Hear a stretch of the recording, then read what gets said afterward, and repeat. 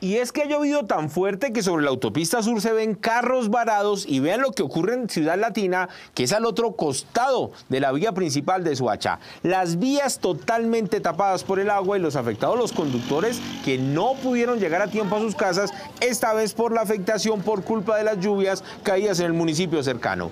Ahora volvemos a Bogotá con el árbol que cayó también por la lluvia, pero esta vez en una bodega llena de reciclaje. Por fortuna la única persona que estaba en el sitio alcanzó a salir corriendo. Miren, esto fue en la tarde y durante la noche estuvieron los bomberos oficiales determinando los daños provocados por este gigantesco árbol y a esta hora siguen trabajando en ese punto de Ciudad Bolívar.